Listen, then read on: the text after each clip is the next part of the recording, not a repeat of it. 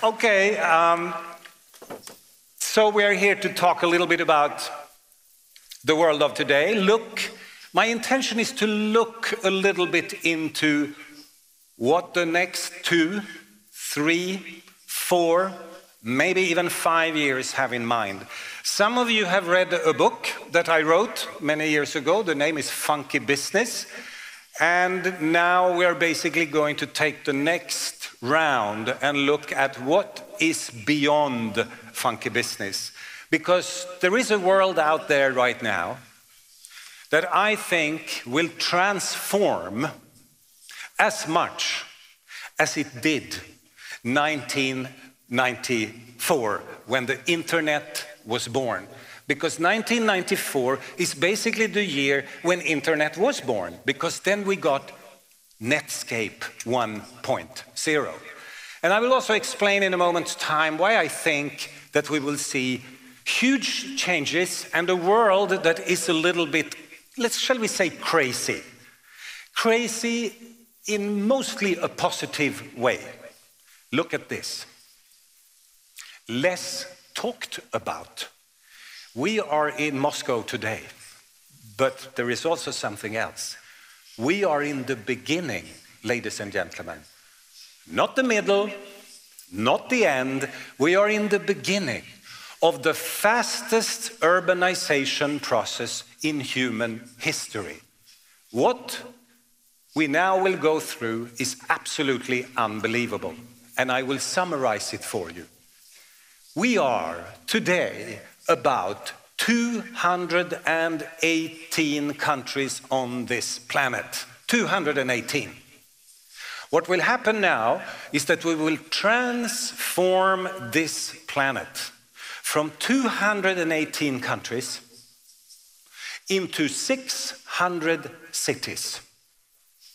And those, listen to this, ladies and gentlemen, 600 cities will account for 80 to 85% of the world population.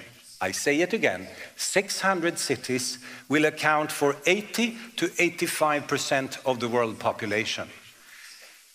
Number two, these 600 cities will account for 85 to 90% of the economic activity in the world. And then I know that some of you that out there, you will go like, when? How long time? 30 years. All this in 30 years, which means that most of you that are here today, you will experience this. You will see the transformation of the world from countries to cities. Anything that can be digitized will be digitized. It's easy to remember. Anything that can be digitized will be digitized. And then you can start to look at our societies entertainment, music, literature, education, poetry, healthcare. Anything that can be digitized will be digitized. And one more thing, one more thing. Keep an eye on FANG. FANG is there, and you go like, who is FANG? Well, FANG is very important, but who is FANG? FANG is not a small Chinese. FANG is an acronym for Facebook, Apple, Amazon, Netflix, and Google. FANG. That's together Facebook, Apple, Amazon, Netflix, and Google.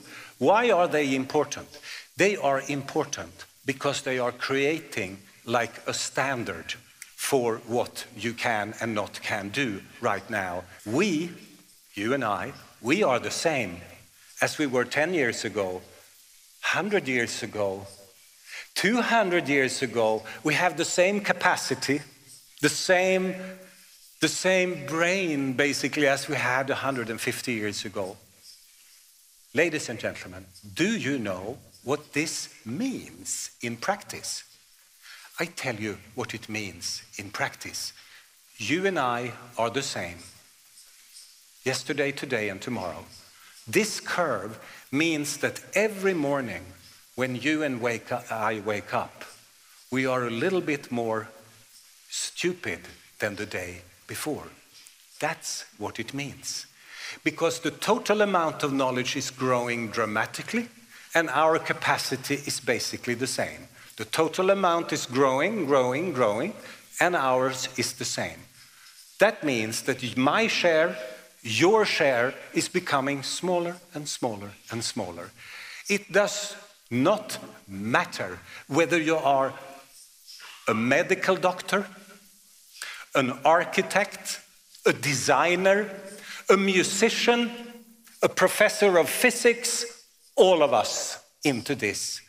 Can you see that the idea that we were told to believe in when we were kids that you should become specialist in something, you should become a master of something. You cannot become a master here.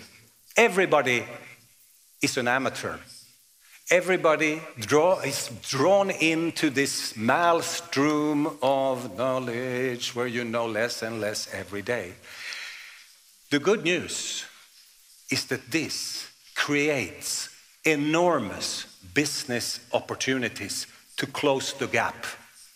Probably the years to come will for us be to rebalance the whole idea of a company where we have to bring creation back and push exploitation a little bit into the place where it belongs, and where creation and exploitation are equally powerful forces in the company.